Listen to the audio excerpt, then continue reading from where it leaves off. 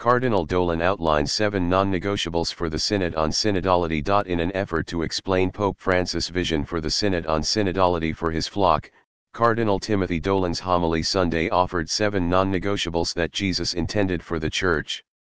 The Synod on Synodality, initiated by Pope Francis earlier this month, is a two-year, worldwide undertaking during which Catholics will be encouraged to submit feedback to their local dioceses.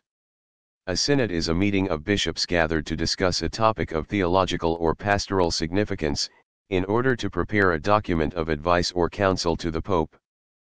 Pope Francis wants us to join him in praying, listening, discerning, examining ourselves personally, and the Church communally, to see if we are truly on the path Jesus has set for his beloved bride, his mystical body. The Church Dolan said he has reminded us of certain clear essentials intended by Jesus, constant, although, at times, we admit, clouded and dimmed, in the Church's amazing 2,000-year drama.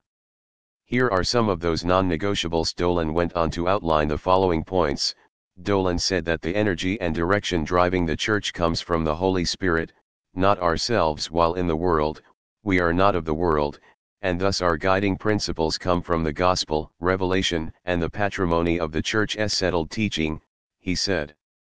Dolan said that the principles of the innate dignity of every human person and the inherent sacredness of all human life are the towering moral lighthouses on our path. Dolan said that our journey through this life back to our true and eternal home of heaven is most effectively accomplished precisely as a journey as we walk with and accompany each other, with Jesus as our guide, his mother, and the saints, and we sinners at each other's side on this journey we pay special attention.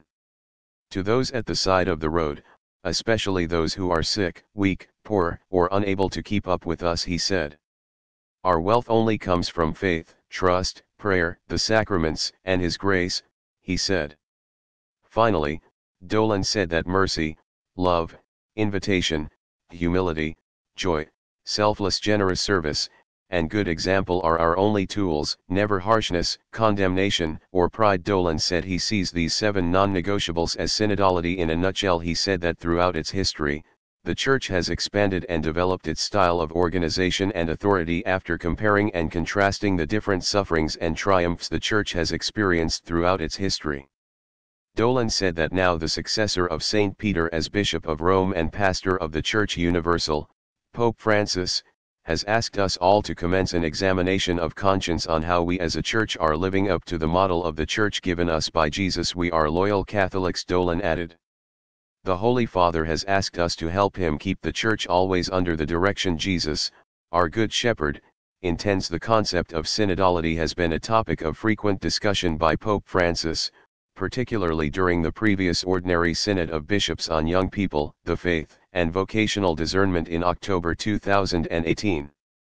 Synodality, as defined by the International Theological Commission in 2018, is the action of the Spirit in the communion of the body of Christ and in the missionary journey of the people of God. The term is generally understood to represent a process of discernment, with the aid of the Holy Spirit, involving bishops, priests, religious, and lay Catholics, each according to the gifts and charisms of their vocation. Pope Francis told the Vatican Congregation for the Doctrine of the Faith's Theological Commission in November 2019 that synodality will be key for the Church in the future. The Vatican announced in May that the Synod on Synodality would open with a diocesan phase lasting from October 2021 to April 2022. A second, continental phase will take place from September 2022 to March 2023. The third, universal phase will begin with the 16 Ordinary General Assembly of the Synod of Bishops, dedicated to the theme for a synodal church, communion, participation, and mission at the Vatican in October 2023. Dolan shared his homily on Monday after noting that many have asked about the synod process initiated by Pope Francis. The Cardinal acknowledged in his homily that he himself has questions. I don't know if I completely understand synodality, Dolan said, adding that the Holy Father is honest in admitting that neither does he have the full comprehension, which is precisely why he has summoned us to this endeavor.